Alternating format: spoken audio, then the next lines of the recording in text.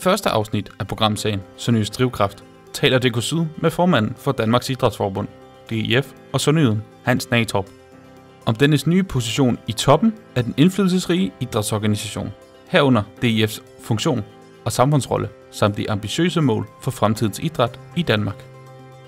Højer er en marsk by, der ligger bag Diger. I andet afsnit af programserien Marsk Stien udforsker DK Syd vandreoplevelser langs stien. Der berettes om den nye store udstilling på Højre Mølle, omhandlende hele Tøndermarsken. Og vi skal blandt andet besøge Østershuset. Vi skal også til konkrete eksempler på restaureringer i bybilledet. Endvidere skal vi opleve vestlæsvisk byggeskik ved Højre Gård, samt forbi Højre Torv, hvor Isen Kram tilbyder forfriskninger til de vandrende på Marskstien.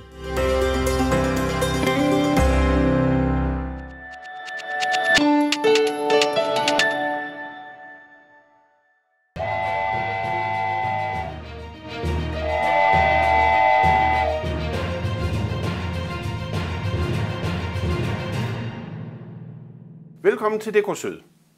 Velkommen til premiere for vores nye programserie Sønderjysk Drivkraft. Det handler om fortællingen om sønderjysk relaterede foreninger, institutioner, virksomheder, grupper, enkeltpersoner, med det til fælles, at der gennem visioner, initiativrigdom og vedholdenhed skabes væsentlige værdier, der bidrager til positiv eksponering og udvikling i grænselandet.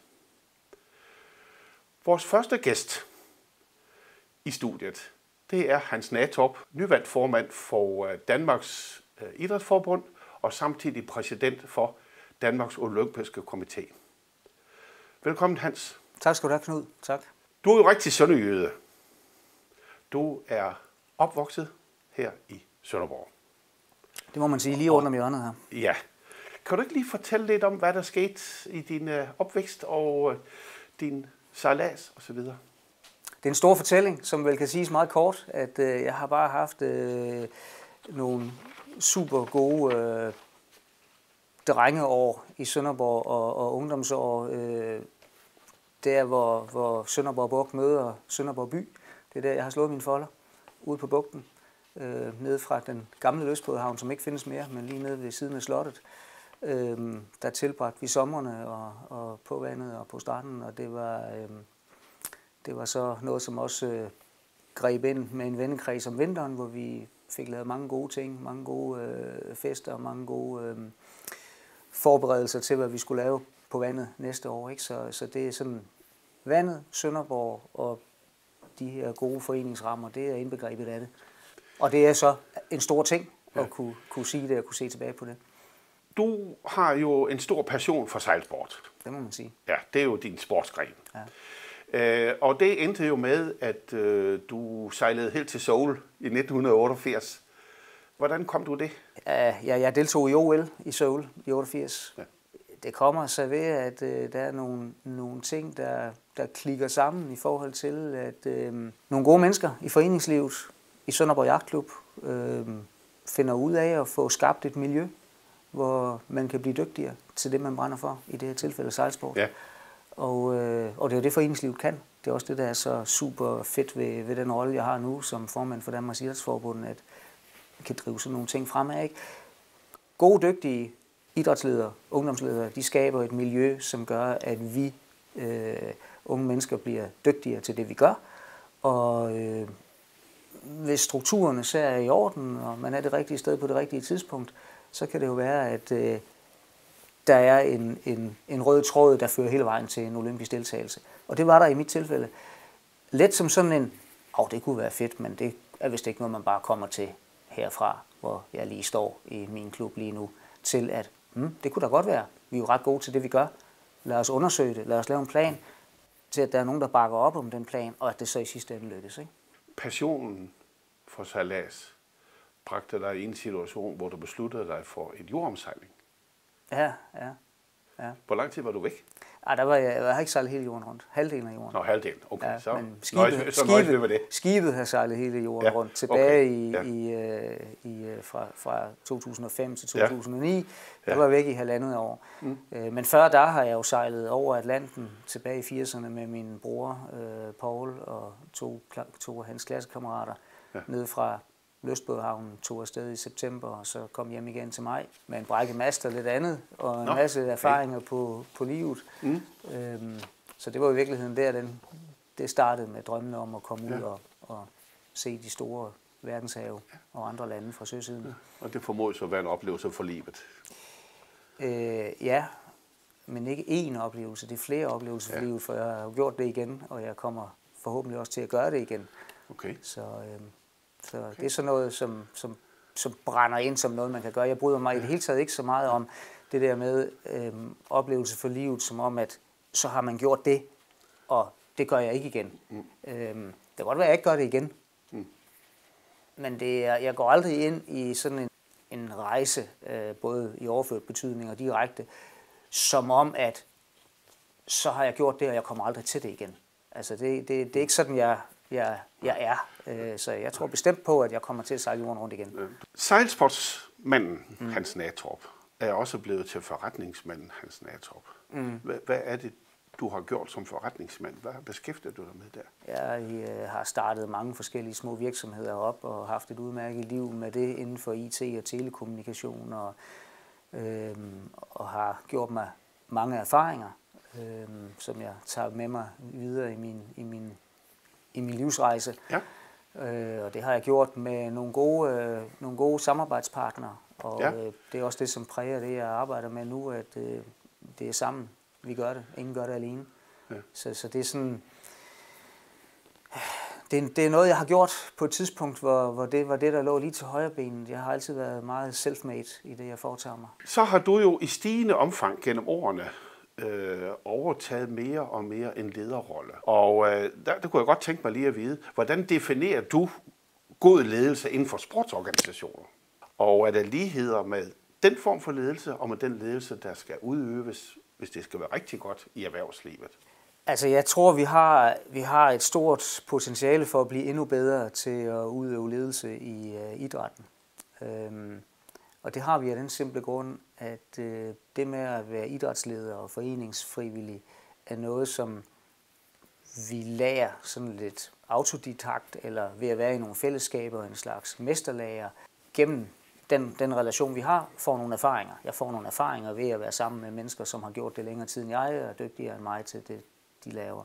Ude i erhvervslivet, øh, eller ude på den anden side af hegnet, eller hvad man skal kalde det, der, der er det med uddannelse til det, man gør, meget mere formaliseret. Øh, vi har jo, altså, vi, vi læser til et eller andet, og så bliver vi, så bliver vi noget på vores arbejdsplads. Ikke? Det, er mere, det er meget mere uformelt i uh, idrættens verden. Du har heller ikke de der redskaber, øh, som er firkantet i forhold til, jamen du udfører den opgave, så får du en sum penge for det, eller øh, du får løn for det. Ikke? Det gør du jo ikke i idrætten. Det er nogle andre motivationsfaktorer. Så der er ikke sådan en en-til-en sammenligning på det der. Jeg synes, der er nogle kæmpe store kvaliteter i at være en dygtig leder i idrætten, som vi kan spejle over i erhvervslivet, fordi den, det, der skal motivere, det, der skal få folk til at gøre det rigtige, er meget mere øh, drevet af passion og af en fælles forståelse af, hvor man skal hen, end at nu får du lidt honorar for det, og så løser du opgaven, punktum ikke? Mm. Så firkantet er jo heller ikke i erhvervslivet. I erhvervslivet der er man meget dygtig til at få øh, sat nogle, nogle synlige øh, sådan nogle snitflader på, hvad er det for nogle kompetencer, man leverer ind i fællesskabet, hvad er det, man kan, hvordan har man dygtiggjort sig til det, som vi skal bruge i virksomheden eller i erhvervslivet for at komme i mål. Ikke? Mm. Den del af det har vi ikke i, øh, i idrætten på samme måde endnu. Det er på vej, og der er mange gode uddannelser også, men det er, ikke, det, er ikke, øh, det er ikke på samme måde sat i rammen. Man kan sige det på en anden måde. Hvis vi i idrætten bliver lige så ambitiøse med at udvikle vores organisatoriske kompetence, vores organisatoriske muskel, som vi er, eller ledelsesmæssige, som vi er med at udvikle vores eliteatleter, eller bare vores atleter. Mm-hmm. Det er vi jo totalt struktureret med, og hammerdygtige til. Helt op til det øverste niveau, når vi laver olympiske guldmedaljer. Ikke? hvis vi kunne spejle den der tilgang til det over i, hvordan vi også udvikler vores organisationer og vores ledelseskompetencer i idrætten, så skal du bare se løjer. Og det er en af de ting, vi kommer ind og, og arbejder med øh, fremadrettet her. Det er noget, vi kan lære af fra erhvervslivet også, men der er også noget, de kan lære fra os. Du er nyvalgt mm-hmm. formand for Danmarks Idrætsforbund, ja. og tillykke med det. Tak skal du have. Det fik mig til at tænke på, at der er to store øh, organisationer inden for sporten, inden for idrætten på landsplan. Mm. Der er øh, Danmarks øh, Idrætsforbund, og der er Danske Gymnastik- og Idrætsforeninger. Ja, de hedder DGI nu. Kan du forklare mig lidt om, øh, hvordan spiller I sammen, og hvordan differentierer I jer øh, i forhold til hinanden? Og så videre? Altså, vi har jo, vi har jo en, en, en, en naturlig tæt øh, samarbejdsinteresse, fordi vi har øh, samme medlemsgruppe, eller et stort overlap i hvert fald. De er ikke overlapper ikke en til en, men der er et stort, der er et stort øh, fælles rum, vi er i.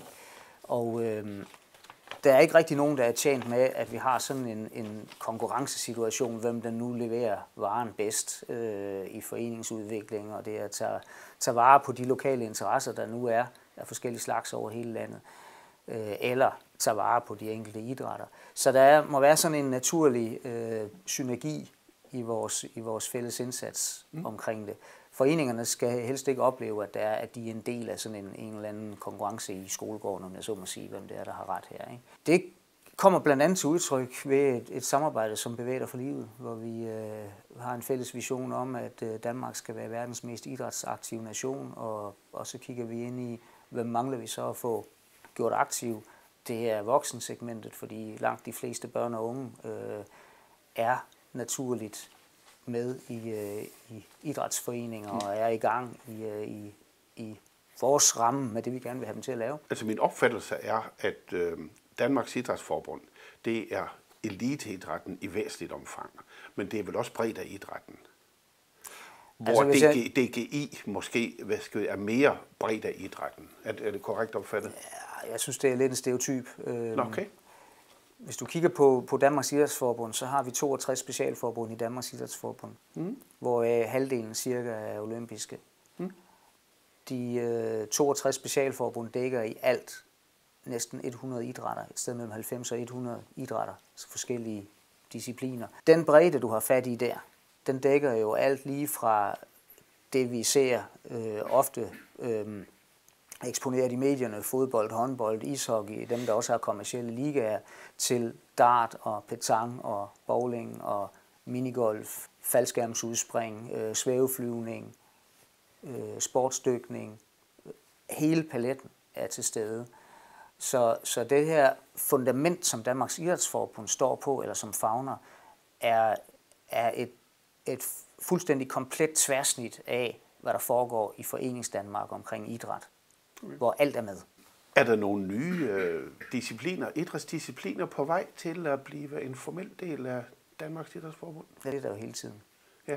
Tænker du på noget bestemt? Nej, Nej. jeg tænker om du har nogle eksempler på noget, ja. måske noget ja. helt nyt ja. eller noget, der er på vej. Men altså, der, der, du, du, du kommer jo ikke... Altså, Danmarks Idrætsforbund er jo, er jo organiseret i specialforbund, ja. i de 62 specialforbund. Ja. Og de 62 specialforbund, de udvikler idrætterne inden for deres ramme. Mm-hmm. En gang imellem kommer der så noget, som ikke er et specialforbund. Sådan en idræt, som så en aktivitet, en, en trend, der opstår, kan blive videreudviklet af et specialforbund, eller kan søge optagelse som et separat, et nyt specialforbund i Danmarks okay. Idrætsforbund. Okay det er jo ligesom et, en, et, øh, en udvidelse af medlemsstaben som medlemsgruppen, som, som Danmarks Idrætsforbunds repræsentantskab så skal tage stilling ja. til, hvordan det skal ske. Ikke? Ja. Og øh, ja, det, det sker en gang imellem, men ikke så tit, som nogen ønsker sig. Det, øh, det gør det ikke. Lad os se, om det bliver mere dynamisk i fremtiden. Ja, ja. Det er der nok en vis mulighed for. Hvordan ser du sporten, den kan anvendes i integrationssammenhæng? Hvordan kan sport være med til at få børn og unge væk fra kriminalitet og belastede miljøer? Og, øh, hvordan ser du på de ting? Sport kan rigtig mange ting øh, i forhold til, at øh, når, vi, når vi trækker i øh, vores sportstøj, når vi tager fodboldstøvler på og, og øh, og overtræks, så vi har den rigtige farve til holdet, så er vi ens. Ja. Og, og, og, og den der den der fællesskabsfølelse, når man er ens, uanset hvad man er uden for banen, det er, det er noget, som er rigtig stærkt, uanset hvad det er for nogle, nogle, nogle øh, udfordringer, vi jo tænker, at vi, vi står med uden for integration, eller social ulighed, eller der, der er rigtig mange dagsordner på det der. Så, så sport har en vigtig rolle i det. Det man bare skal huske, øh, som jeg i hvert fald synes er vigtigt, det er, vi kan ikke sætte idrætten til at løse vores udfordringer i øvrigt. Altså vi kan ikke sætte idrætten til at løse integration eller social ulighed, men idrætten kan løse det ved, at idrætten får lov til at være idræt. Altså forstå mig på den måde, at hvis vi siger, at nu skal I spille fodbold, fordi vi skal have, vi skal have ordnet det her med, at der ikke, altså vi skal have gjort noget for integrationen derude i et udsat boligområde. Ikke? Mm. Så derfor skal I spille fodbold her. Mm. Det gider vi altså ikke. Vi spiller fodbold, fordi det er fedt at spille fodbold.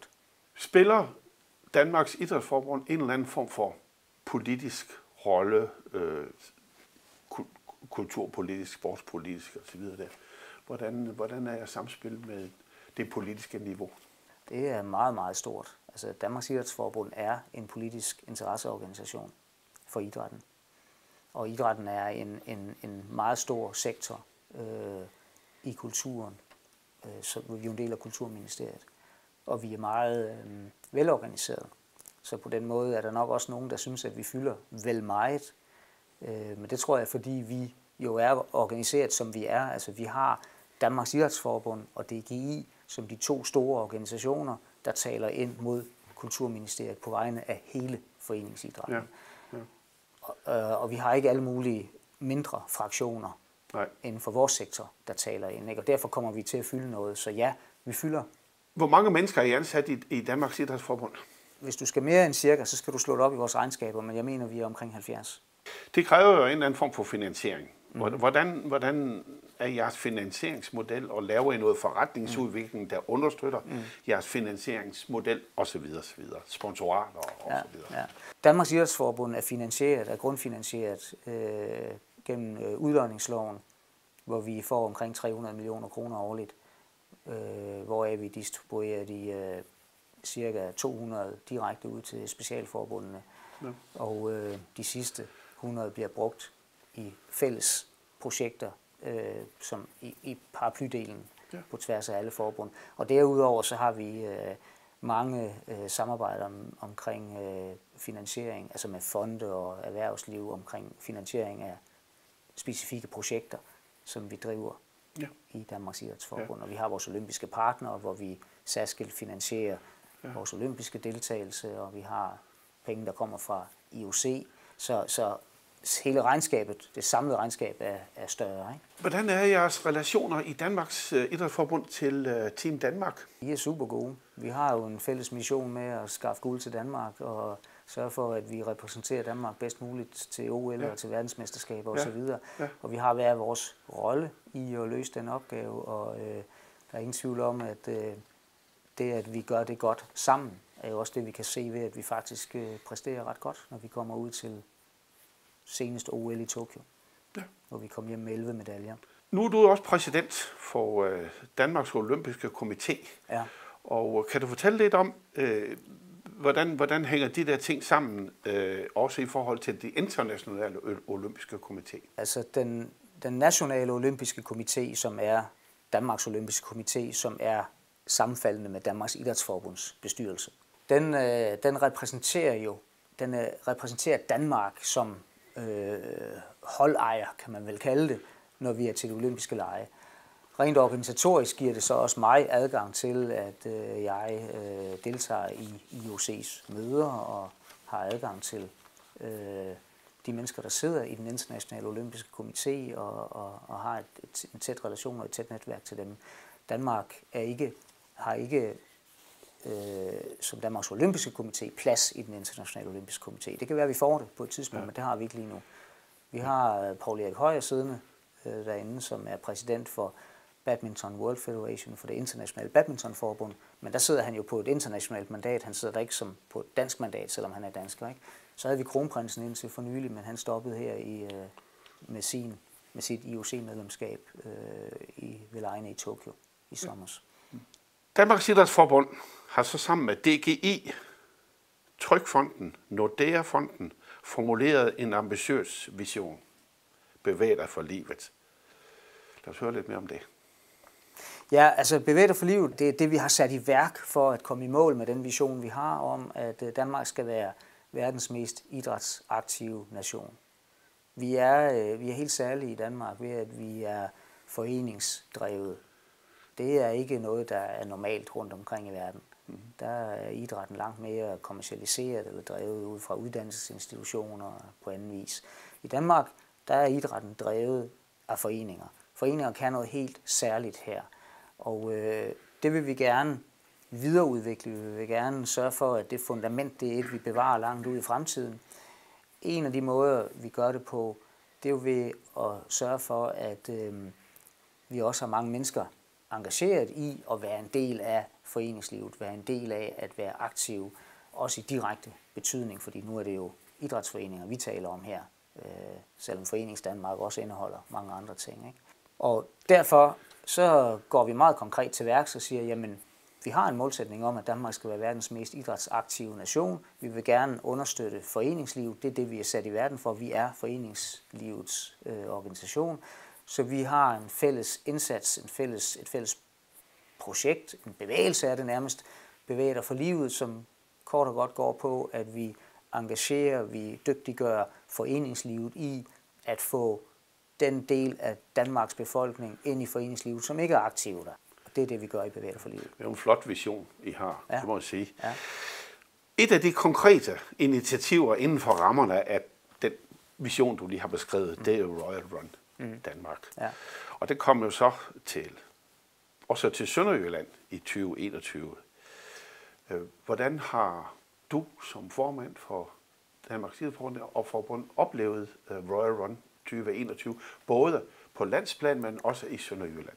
Altså, det var fantastisk at få lov til at, øh, at løbe Royal Run igen. Ikke? Det er jo blevet aflyst øh, sidste år, og så blev det flyttet fra foråret i år til september øh, med al den usikkerhed, det også indebærer, og, og, og hvordan bliver det nu? Øh, nu har der været så lang tid, hvor vi ikke har haft det, og kommer folk, øh, kan vi huske, hvordan det var, og så videre. Ikke? Og det var jo en kæmpe succes.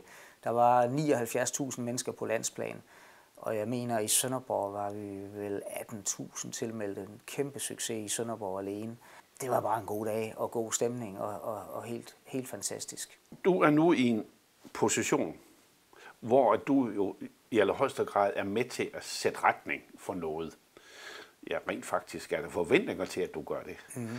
Øhm, Hvordan tror du, at du rykker dansk idræt og elitesport i de kommende år? Hvilke specielle initiativer tror du, at der, der kan tages for at gøre det? Jeg tror, at vi øh, kommer til at arbejde rigtig meget med samarbejde. Altså vi kommer til at, at finde nye samarbejdsflader, både internt i idrætten, men også i forhold til alle de mange partnere rundt om, øh, rundt om idrætsorganisationerne. Der, der bliver nye samarbejdsrelationer, nye snitflader. Vi skal også blive meget dygtige til at øh, arbejde med den kommercielle snitflade. Hvordan sørger vi for at få skabt et, et fundament med ny finansiering og, og andre måder at, at understøtte arbejdet i foreningslivet. Og så har vi en opgave med at blive øh, mere digitale. Øh, corona, det var en, øh, en game changer på det, hvor, hvor, hvor man i foreningslivet lige pludselig blev meget, meget kreativ på en positiv måde på at, at skabe nye fællesskaber, båret af, af vores øh, digitale øh, værktøjer, sociale medier osv., som vi slet ikke har kunnet tidligere. Og der ligger en kæmpe opgave foran os med, at øh, idrætten også forstår at udvikle sig selv sammen med, med, øh, med, med, med hele digitaliseringen. Nu har du jo oplevet rigtig mange ting, og du har haft dine udfordringer hen ad vejen med ting, som du vil opnå osv., og du har garanteret også haft nogle succeser. Hvis du skulle udvælge en enkelt udfordring og en enkelt succes, som du er særlig glad for over dit, over dit øh, virke øh, indtil nu, hvad, hvad kan det så være? Jamen, det er både det er den samme udfordring, og succesen går hånd i hånd. Øh, en stor udfordring kan jo så også øh, gå, blive afløst af en kæmpe succes. Ikke? Og der, hvor jeg sidder nu, den position, jeg har nu, det er simpelthen, øh, jeg er mega stolt over, at øh, det er mig, der har opgaven som formand for Danmarks Idrætsforbund. Det er en rejse, jeg har været på igennem mange år. Der er rigtig mange valg, der er truffet undervejs, hvor det kunne have gået i alle retninger. Nu gik det den rigtige retning, og, øh, og det, er, det er fantastisk at sidde her nu og se tilbage på den rejse og se de valg, der er blevet truffet og sige, det klikkede den rigtige vej. Øhm, men det er også en, en, en, en stor, med stor ydmyghed og, og stor, sådan, ja, meget, øh, sådan, meget øh, altså, det er en stor ære at få lov til at være den, der har det ansvar omkring, øh, omkring øh, idrætten og sidde i spidsen for det. Og det er en kæmpe succes for mig, at øh, den udfordring, jeg gav mig selv, sige, den opgave vil jeg løse, at det så også blev mig. Ja. Så det har været en stor, stor udfordring, og det er en stor succes for mig. Har du en eller anden øh, ambition om et eller andet sådan rimelig konkret øh, fremadrettet? Skal vi runde af med det? Vi har en, øh, en vision i Danmarks Idrætsforbund om, at øh, idræt skal være en del af alle danskers liv gennem hele livet, både på banen og uden for banen. Øh, den skal samle og begejstre, og den skal bevæge os. Og øh, det er det mærke, jeg vil sætte på mit virke i, øh, som formand for Danmarks Idrætsforbund. Det var flot sagt her til sidst. Tak for samtalen, Hans. En fornøjelse. Ja, i lige måde. Selv tak. Dette var så første afsnit i DK Sys nye programserie Sønderøst Drivkraft. God fornøjelse. Vi vender tilbage med næste afsnit om en måneds tid. Tak for nu.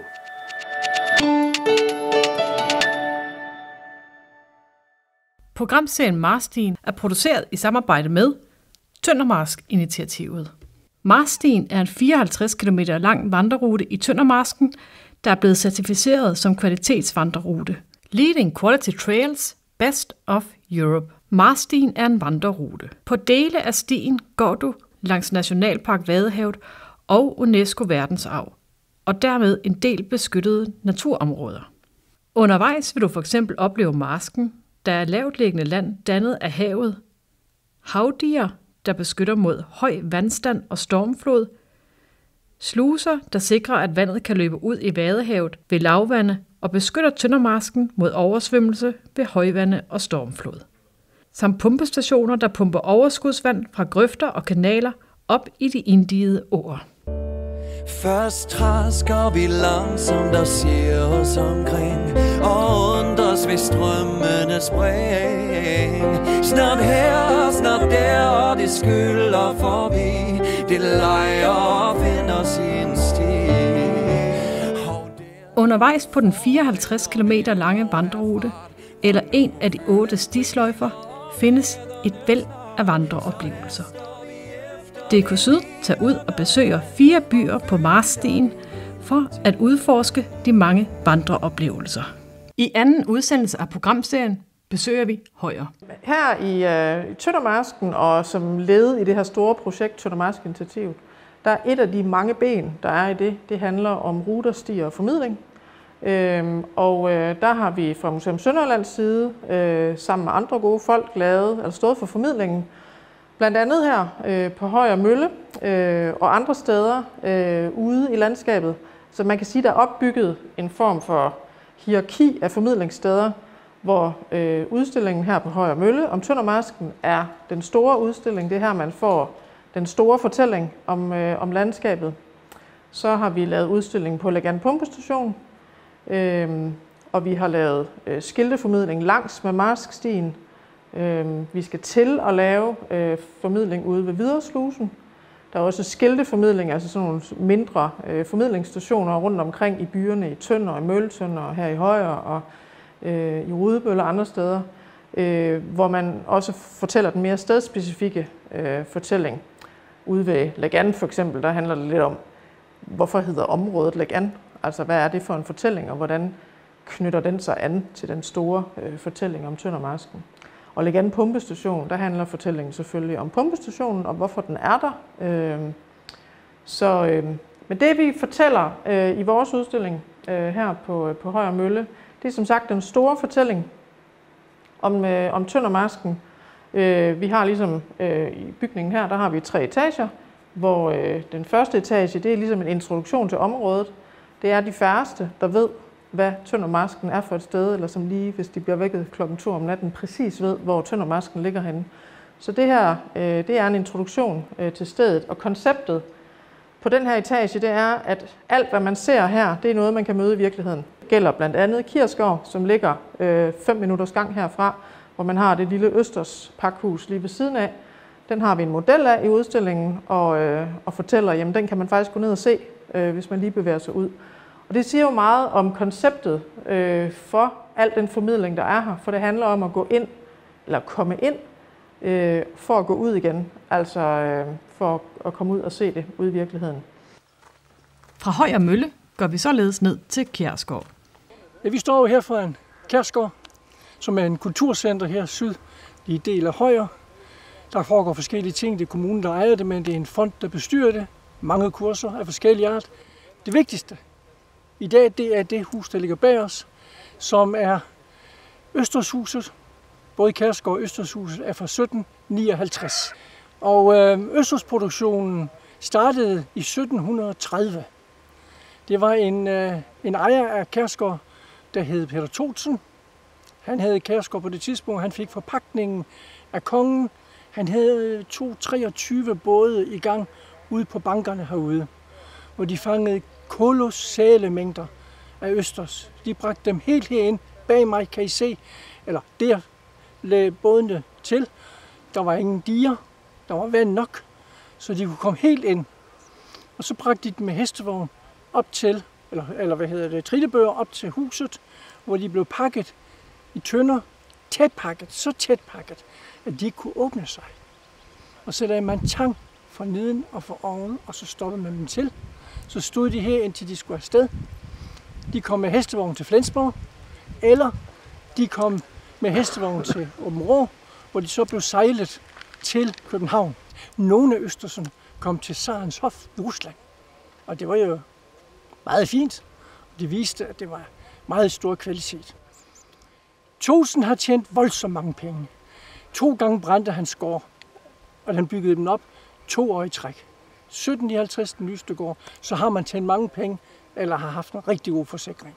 Østershuset i dag bliver hovedsageligt brugt til malerkursus. Der kan være nogle foredrag, der kan være noget andre aktiviteter ind i det, ligesom Kærsgaard bliver brugt som kulturcenter, hvor man kan lege sig ind i alle mulige forskellige sammenhænge. Det skal bare have et eller andet med masken at gøre, som vi jo står her og kigger ud på, og som jo er en del, derover går maskstien, den går også forbi herover, og allerede der har jeg set adskillige med rygsæk og tænkt, god tur. Det er en hård en, men der er mange, der gør det. Og det er jo dejligt at se. Østerserne blev altid taget i R-månederne. Det skulle være de kølige og kolde måneder, man tog dem. Det var også i de måneder, hvor vi havde vandet mest inde. Husk på, ingen diger overhovedet. Så vandet kom jo herind mange gange i løbet af året med de storme og de vinde, der var fra vest. Og med de vind var det ikke noget problem at sejle ind selv med tungt ladebåde. Men man skulle selvfølgelig tage hensyn til ebbe og flod. Det er klart. Og det er jo vaden og et ebbe og flod, der gør, at der kommer så utrolig meget foder ind til Østersøen.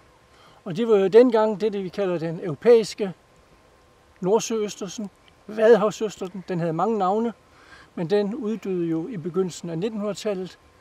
Og senere har vi jo fået Stillehavsøstersen, som er en invasiv art, men den plukkes jo af private i stor udstrækning, og bliver endelig ved med det, for den gavner ikke Vadehavets øh, øvrige beboere overhovedet. Så derfor så pluk endelig Stillehavsøstersen så meget I har lyst til, når det er lavvand. Ud og pluk den. Men I skal ikke gøre det i øjeblikket. For i øjeblikket er den ikke værd at spise, og den kan have parasitter og alt muligt mærkeligt i sig. I skal vente til ærmånederne kommer. Det vil sige, vent til oktober, november. Så kan I hente østers derude. Men ikke før. Det bør I i hvert fald ikke. Det er ikke forbudt, men altså. Nu ved jeg, at man har Østers festivaler, øh, festival hernede i området. Gør man noget i højre også for at øh, bevare den her kulturarv omkring Østers? Ikke meget bekendt. Men vi har jo selvfølgelig flere øh, firmaer, som tager ud med gæster på Østersbankerne. Vi har sågar øh, set borer og stole ude på vaden, hvor de sad og spiste østers, drak lidt god vin til, eller noget champagne til, og når så vandet kom, så skyndte de sig ind igen. Vi står så inde i Østershuset, og det var her, alle tønderne, eller i hvert fald alle østerserne, blev bragt ind, pakket i tønder øh, og stablet op, indtil de skulle afsted. En del af det her hus er stadig det originale. Vi har lige fået nyt stråtag, men her har vi eksempler på træ. Hvis jeg går hen og hører her, kan vi godt høre, at det er meget gammelt træ. Og det holder stadigvæk, og det holder forhåbentlig mange år endnu, men det er en del af det oprindelige. Ellers er der temmelig meget nyt herinde, det må vi sige. Både gulv, dele af loftet er nyt, og trappen er nyt. Så vi kan ikke holde det hele i den oprindelige, men vi gør, hvad vi kan. Fordi det er jo en fredet bygning, og der skal tilladelse til alle forandringer. Det er dejligt køligt. Og det er en fordel, når der kommer østers, for de skal helst ligge så køligt. Og der er vi tilbage med ærmånederne. Der har været rigtig koldt her. Østersproduktionen stoppede i slutningen af 1700-tallet. Der stoppede den. Der, var det, der kunne man ikke komme ind længere med bådene. Der var simpelthen ikke muligt at sejle herop, og koncessionen holdt op. Man havde ikke nogen forpakning længere. Så Thomsen var den sidste, og det var i slutningen af 1700-tallet. Jeg tror, det var 1780. Ikke flere østers i højre på det tidspunkt. Så, så man fortsætter selvfølgelig med at hente østers derude, men det er slet ikke til produktion, og slet ikke til salg og videre salg på den måde, som, som det havde været før. Så øh, der blev det stald, og der var kommet vognene til at stå. Så i mange, mange, mange år var det en vognstald, i stedet for en løstershus. Så det, det, er det, der, det er det, der er i det her hus. I kan selvfølgelig også se, at begge dørene er nye. Det giver lys fra nord til syd, og det er perfekt, når man er på malerkursus. Og over i hjørnet står der stafelier klar til de kunstnere, der kommer. Øhm, men når vi så har introduceret landskabet, øh, både med geologi og det kan være steder, altså bi, introducere byerne og specifikke fugle altså, altså interessante områder, så øh, øh, har vi en etage, som er heldig til, hvordan er det landskab så kommet til at se sådan ud? Hvad er der sket over de sidste øh, 500 år, som gør, at det landskab det ser, øh, ser ud, som det gør? Fordi noget af det, der er specielt for Tøndermarsken, det er jo, at det er jo et særligt naturområde, men det er jo også kulturskabt, altså menneskeskabt. Mennesket har igennem meget lang tid øh, sat sit præg med diger og sluser og værfter og altså nogle kunstige forhøjninger ude i landskabet, hvor man har boet, som kræver, at man får det fortalt. Altså det er ikke selvforklarende. Hvis man går en tur, og man ikke har nogen form for introduktion, så kan det være rigtig svært lige at forstå, hvorfor det er særligt. Og det er jo sådan et meget åbent, fladt landskab, så man kunne jo forledes til at tænke, øh, altså der er jo ingenting. Der er jo ikke noget. Der er en masse himmel, og man kan se fugletræk og sådan noget, men hvad er det egentlig? Det er jo noget af det, vi gerne vil prøve at hjælpe folk til at, øh, at forstå øh, de ting, man møder. Så vi forklarer, hvad diger er, hvad sluser er, hvad pumpestationer er osv. Og så har vi øh, den, øh, hvad hedder det, den sidste del af udstillingen heroppe, som, øh, som handler meget om det levede liv. Hvordan har det så været at leve her? Dels for mennesker, men også for fuglene, fordi vi opererer sådan med tre stadier i tøndermaskens udvikling. Der er den åbne mask inden dierne. Det er en måde at leve i masken på. Så er der den inddigede mask. Øhm, for eksempel er det sådan, at når man bygger et havdige, og det her dige det passerer forbi et vandløb, som for eksempel Hvidåen, så øh, er der brug for at sætte en sluse i diget, for at åvandet det ved lavvande kan løbe ud i, øh, ud i havet. Men det skaber også nogle problemstillinger, fordi nogle gange så er der stormflod, og så er slusen nødt til at være lukket meget længere end normalt. Og så kommer der, kom der tidligere oversvømmelser inde på indersiden af diget, fordi åen gik over sine bredder. Det er sådan nogle problematikker, der dukker op. Det forklarer vi også. Så man kan sige, at her der kæmper man med både havvand og bagvand, som vi siger. Øhm, og så er der den afvandede marsk, som er altså pumpestationernes tid, kan man sige, som kommer efter genforeningen. Og så prøver vi også at kæde fortællingen om den afvandede marsk sammen med genforeningen, fordi det, det var dyrt, meget, meget stort ingeniørmæssigt projekt at afvande Tøndermarsken. Og den velvillighed, der var omkring det, hænger blandt andet sammen med genforeningen. Altså i 1920 mellem, øh, hvad hedder det, hvor Sønderjylland vender hjem til Danmark. Så, øh, så det er nogle af de fortællinger, øh, man får herinde, som også er en del af en større national fortælling.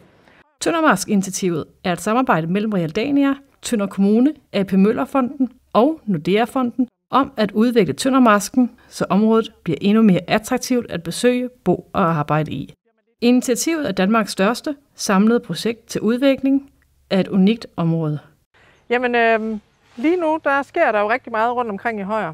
Øh, som et led i det her store Tøndermask-initiativ, der er der dels en byfond, og så er der her for knap et års tid siden sat gang i byomdannelsen. Og hvis vi nu skal starte med byfonden, så er byfonden, der er lagt 21 millioner i en byfond, som borgere, der bor i den historiske bykerne, kan man sige, af øh, Højer by, kan søge midler øh, i til restaurering af deres huse. Ældre huse, det vil sige, det er huse, der skal være ældre. Altså de, skal være, de må ikke være opført efter 1950, og så er der nogle bestemte kriterier, de skal leve op til, og så er der også nogle, nogle bestemte ting, man kan søge til.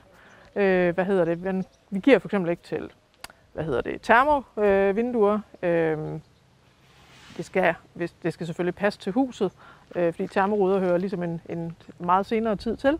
Øhm, og så på den måde er der forskellige ting. Det kan være murværk, det kan være tag, det kan være vinduer og døre, det kan være lurer. Øh, det kan også være stendiger faktisk ved, rundt om, øh, om grunde, som man kan søge tilskud til i, øh, i byfonden.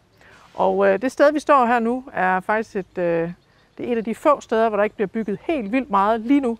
Øh, fordi at øh, huset bag ved mig er et af de huse, der har øh, søgt og fået øh, tilskud øh, til øh, at få ordnet facader, der er skiftet vinduer, der er faktisk lavet en helt ny tagkonstruktion, øh, og der er en kvist, der er blevet rettet til osv., øh, som, øh, som alt sammen hvad kan man sige, understøtter en fortælling omkring Højer by. Øh, og, så, øh, og så kan man sige, der hvor huset ligger, øh, der er de så faktisk også nu øh, kommet ret langt i byomdannelsesprojektet. Og det byomdannelsen handler om, det er gader og stræder. Så det har ikke noget med byfondsmidlerne at gøre, men det er gader og stræder, hvor der bliver nye fortov og nye gadebelægninger, øh, i takt med, at man også øh, hvad hedder det, renoverer kloakkerne. Øh, og den gade her, Østergade, som vi står op af, der er de stort set færdige med belægningen, så der kan man se, hvordan de gader, der får øh, brostensbelægning, hvordan de kommer til at øh, se ud. Og, øh, og hvis vi kigger lidt op af Herbergsgade øh, her, så kan man også se de nye fortove, de, øh, de begynder at tage form. Og hen over de næste par år i Højer, der vil de øh, håndværkerne være i gang med, øh, med gader og stræder. Fra et restaureret hus går vi videre til en restaureret gård, nemlig Højergård, der har fået en ny funktion. Højergård er en af Højers rigtig fine gamle gårde. Øhm, og øh, huset, som vi kigger ned på her bag, bag ved os, er jo et, øh, et hus, som er opført i den regionale byggeskik, kan man sige. Altså det er ikke en højere byggeskik, det er en byggeskik, der karakteriserer Tøndermarsken, øh, som, øh, som vi vil kalde den vestslesvigsk gård. Øh, det vil sige, den er hverken dansk eller tysk, den er faktisk mere regional. Øh, og øh, huset her, det er fra begyndelsen, eller det er fra 1820'erne. Øh, der har ligget en gård her før, som, er, øh, som var meget ældre, som går tilbage til middelalderen. Men, øh, men huset her er opført der i 1820'erne, hvor det går rigtig godt, også for, for gårdejeren. Og øh, den vestlæsviske byggeskik er jo karakteriseret ved sådan en, en, øh, en ofte sådan en, en enlænget gård. Nu var der flere udlænger til den her, men selve stuehuset er, er en længe, øh, i, øh, står i blank rød mur i hoprettende røde mursten, som er karakteristisk for, for øh, hvad hedder det, murværk øh, på egnen øh, fra den periode. Øh, den har stråtag, fordi man hentede selvfølgelig sine byggematerialer lokalt, og der var masser af strå, man kunne hente, altså tagrør, man kunne hente øh, ude i masken. Og så er det karakteriseret ved de her, øh, hvad kan man sige, hvide, smalsprossede øh, vinduer. Øh, og så nogle meget, øh, meget smukke døre. Der er mange huse i Højer, som ligner lidt Højergård. De er bare mindre, meget mindre skala. Nu er det, fordi de har været meget velhavende her øh, på gården, at man har så stort et stuehus med højt til loftet. Så skal man også lægge mærke til murankrene øh, på muren. Altså inde bagved er der jo en bjælke, som, øh, som, som murankret ligesom festner øh, festner sig i. Så det er også, de kan være mere eller mindre dekoreret. Det kan man se flere forskellige, så både i højre, men også langs med marskstien, både i Altså blandt andet i Møltønder kan man finde hus, der ligner øh, det her øh, i nogle, altså ser en lille smule anderledes ud, men man kan godt se, at de er beslægtet sådan rent byggeskiksmæssigt, helt klart. Udover selve stuehuset, så ligger der en udlænge, den er så noget ældre, den er fra 1700-tallet, som også er blevet restaureret. Øh, og i dag der er det sådan, at øh, Valdania By og Byg øh, købte øh, øh, ejendommen her for nogle år tilbage og har restaureret det. Så nu har man øh, faktisk to stuehuse. Vi har nemlig også et her bagved os fra, fra 1906 i jugendstil. Og de to stuehuse, de fungerer jo så som, øh, der kan man overnatte, der er overnatningspladser. Og så over i øh, den gamle, i den gamle ladebygning, der er der indrettet industrikøkkener. Øh, fordi at øh, Arlafonden driver en madlejerskole herude. Så, øh, så en del af året, der fungerer stedet her, altså Højergård, som, øh, som madlejer øh, for Arlefonden, hvor børn og unge fra, fra hele landet kan komme herned øh, og lære noget om fødevarer og madlavning, og man kan slagte en høne, og hvad man nu ellers kan blive udsat for. Øh, og det fungerer så inde i, de her, øh, i den her ladebygning. Og det er jo sådan en ny måde at bruge nogle ældre bygninger på, så de får nyt liv, kan man sige. Øh, og så stuehusene er jo så også fyldt med elever, som så øh, overnatter her. Og når der ikke er Arla madlejr, så kan der være andre aktører, som bruger øh, huset til for eksempel, man kan komme og, og bo her på nogle ophold, og, og, og det er der så forskellige arrangører, der, der står for. Og så ligger det jo centralt i byen, ligger inde midt på torvet i Højer, så det er også et vigtigt hus i forhold til, til byen. Fra et vigtigt hus i byen går turen videre til et andet, nemlig byens isbutik. Vi var nede og se Sort Sol for nogle år siden, 5-6 år siden var nede og se Sort Sol. Øh, og synes området har fantastisk. Så det endte med at købe det her hus, Isenkram, eller huset, på torven i som øh, feriebolig. Det der ikke er bogpælspligt, så jeg tænkte, det kunne være en god feriebolig.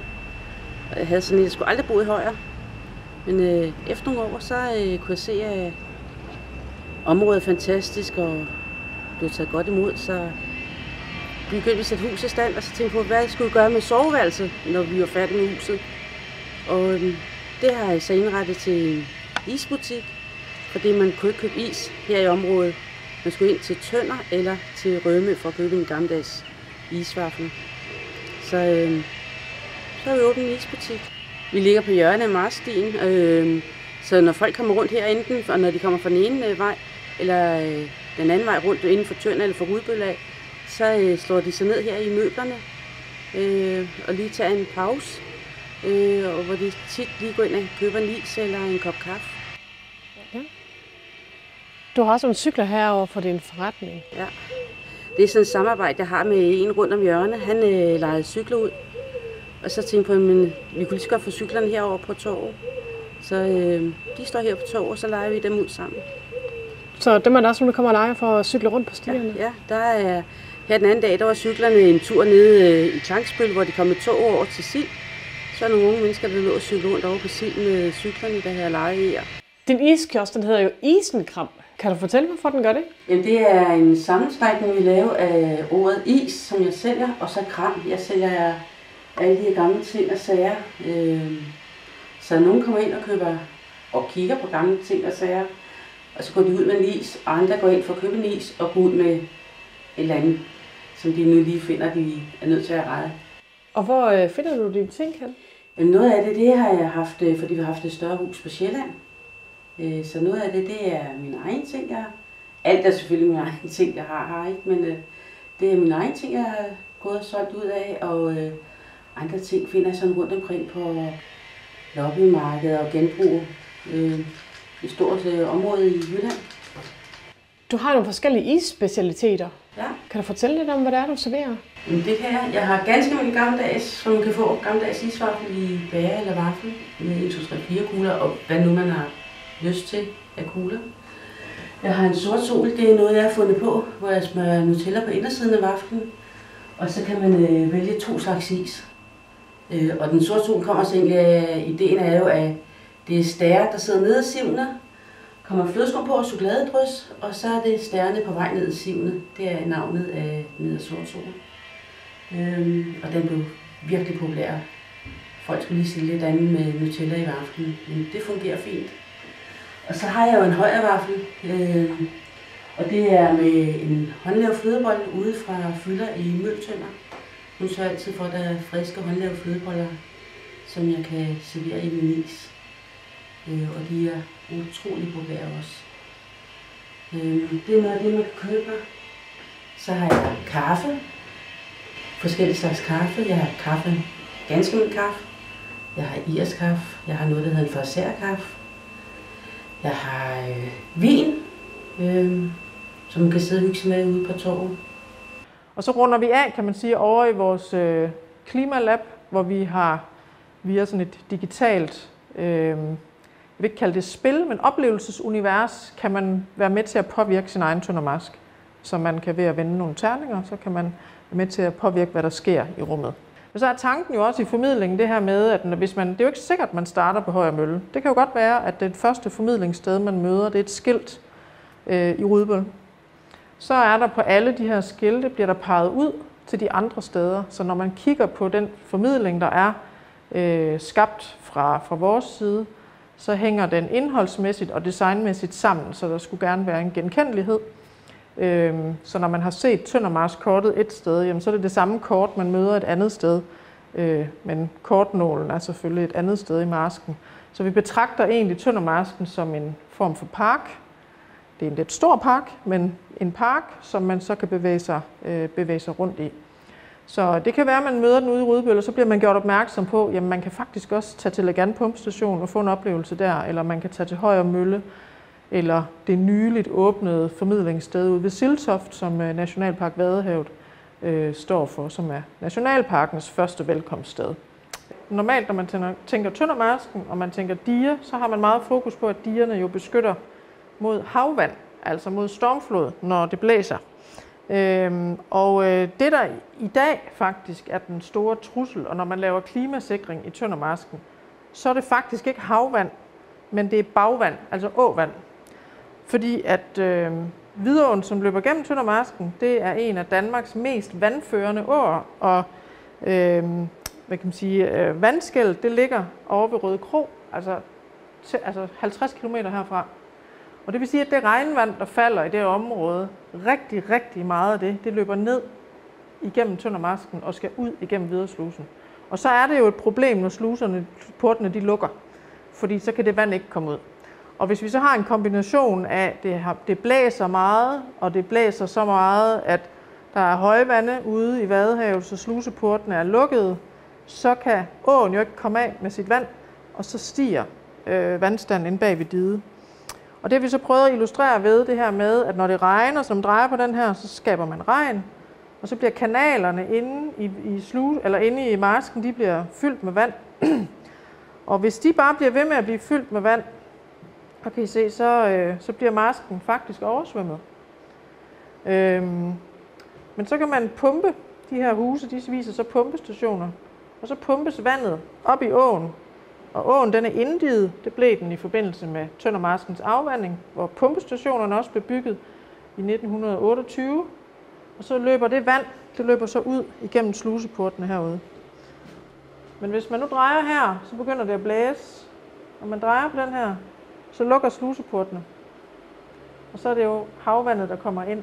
Og det havvand, der kommer ind med vind, det er jo, det er jo, ikke, det, er jo ikke det vand, som styres af øh, det normale øh, højre lavvande, altså som styres af jordens rotation og, og, og hvad hedder det, månens tiltrækningskraft. Så snart det blæser så pre- fra vest, så presses vandet simpelthen ind mod, øh, ind mod øh, kysten. Og så lukker digerne jo, eller lukker sluserne jo også.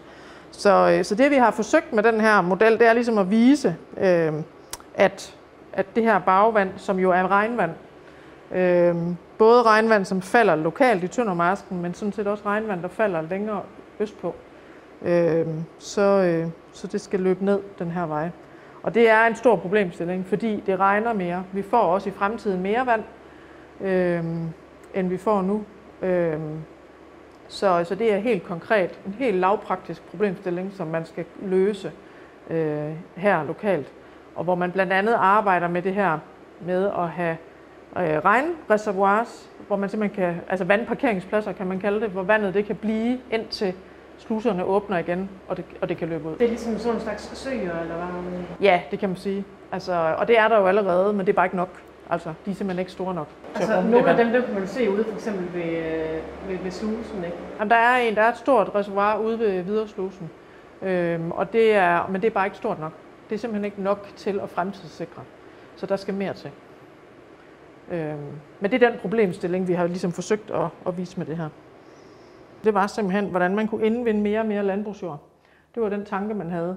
Og derfor blev han bedt om at, at grøble, og så ændrede politikken sig så med årene. Men vi har så, så valgt at samle den her grøbleplov ind, øh, som et, altså, så den er, så den er jo et symbol på en måde at tænke på, som i dag vil være fuldstændig udelukket øh, i den danske del af Vadehavet. Det må man simpelthen ikke. Øhm, og det er verdensarv, og man skal passe på den naturlige dynamik osv. osv., osv. derude. Men den her, den repræsenterer jo en tankegang, hvor vi skaber ny, vi, vi, skal, vi, altså, vi, kan, vi kan bare blive ved med at indvinde øh, ny jord øh, ude på vaden. Så, øh, så hvad hedder det? Øh, og det man skal forestille sig, det er jo også, at alt det vi i dag ser ude i Tøndermarsken, som store græsklædte flader, det har jo engang været sådan meget mere sumpede og meget mere der har været mange flere sådan små vandløb og render fyldt med vand og sådan noget, som var naturskabte, som er jo forsvundet med tiden. Øh, og det er, jo, det er jo en proces, der har stået på, kan man sige, siden, øh, siden renaissancen. Øh, men altså så sent som i 1950'erne, der drømte man jo øh, fra, øh, fra det danske landbrugsministeriets side om øh, det her med, hvordan man kunne indvinde ny jord i Vadehavet. Og det var helt åbent. Altså. Og der er bare sket utrolig meget på de år. I dag snakker vi om Vadehavet på en helt anden måde øh, og man taler om beskyttelse på en helt anden måde. Øh, men derfor synes vi, det var vigtigt at få den her genstand med, for den repræsenterer jo en del af fortællingen. Øh, og det var derfor, at, øh, at det var også rigtig øh, godt for os, at vi fik kontakt med nogle efterkommere af den her øh, smedmester, øh, som, øh, som har skabt øh, den her plov og adgang til billeder, øh, fordi han faktisk arbejdede langs hele den danske vadehavskyst. Hans søn tog over efter ham, Øh, og han grøblede faktisk også i den tyske del af Vadehavet, dele af den tyske del. Så han blev kaldt grøblemesteren for Store Jønnevad, så han var meget dygtig til det, han gjorde. Øhm, men, øh, men vi synes, det er en vigtig del af fortællingen, for der er altså, øh, øh, der er, altså mennesker har jo ageret på forskellige vis, og det bliver vi jo ved med, at vi træffer hele tiden nye beslutninger øh, på, på vegne af vores landskaber, og det er jo i sidste ende, hvad kan man sige, en politisk beslutning, om vi vil gå den ene vej, eller vi vil gå den anden vej eller et eller andet sted midt imellem. Øhm, og man kan sige et sted som Legan Pumpestation, der har vi jo fortalt, i Legan Pumpestation fortæller vi selvfølgelig den, den store fortælling omkring Tøndermarskens afvanding, som er en vigtig fortælling, som har fuldstændig forandret den måde, landskabet ser ud på. Øh, og den, den finder jo stadig. Pumpestationen blev til i 1928, sammen med tre andre pumpestationer. Øh, og så kommer der et naturgenopretningsprojekt i 2009. Så hvis man står på Lagan pumpestation og kigger mod øst, så kigger man ned i en sø, skabt i 2009, hvor man har givet vandet plads. Altså Lagan pumpestation er historien om at få vandet væk. Og der har man så, øh, altså årtier senere, øh, hersker der så en holdning om, at det er også vigtigt, at vi giver vandet plads de steder, hvor ikke over det hele, men øh, øh, nogle steder, simpelthen fordi det skaber liv. Øh, og der har man så skabt Nørresø øh, øh, lige ved siden af. Og det interessante derude er jo, at de to ting kan godt eksistere ved siden af hinanden. Altså Lagan pumpestation er stadigvæk vigtig. Stadigvæk vigtigt, at den kan afvande, for nu er der blevet bygget steder inde i Tønder, som er lidt afhængige af, at Lagan pumpestation virker. Men man kan også godt have et lavvandsområde lige omme på den anden side af ådiget, øh, som giver øh, hvad hedder det, fisk og, og fugle øh, nye levesteder. Så, øh, så derfor er den der er den her også, så vi kan ligesom, øh, hvad hedder det, berøre den del af fortællingen. Taget et udsnit af en af de koge, der ligger tæt på, altså højre ligger her, vi står heroppe nu, mm. så er man højre sluse, der er videre slusen derude, og så er det øh, Ny Frederikskog, hvor man... Det, her, det er små pumpestationer. okay. Øh, der er både større og mindre pumpestationer, men øh, der er også nogle hjælpepumpestationer, som man ikke, det er ikke, de er ikke formet som huse, men ser lidt anderledes ud. Men de hjælper simpelthen med at få vandet rundt i, øh, i nu i det her tilfælde Ny Frederikskog, Ja. som er et stykke indvidet marsk, så hvor der er diger øh, hele vejen rundt. Øh, og det, der er specielt ved Ny Frederikskog, det er, at den både bliver afvandet, men den bliver faktisk også bevandet, fordi der går dyrt ud. Så øh, hvis der nu er meget tør sommer, så skal Øh, så skal pumpestationerne også kunne sørge for, at der er vand i kanalerne, for det er jo der, dyrene får deres drikkevand fra. Ja. Så de skal jo have noget drik. Som vandrer på Marsten kan tørsten også melde sig. Den kan dog slukkes undervejs ved Siltoft, som er Nationalparkens første velkomststed, og som vi besøger i næste udsendelse, hvor turen blandt andet går til Rudbøl.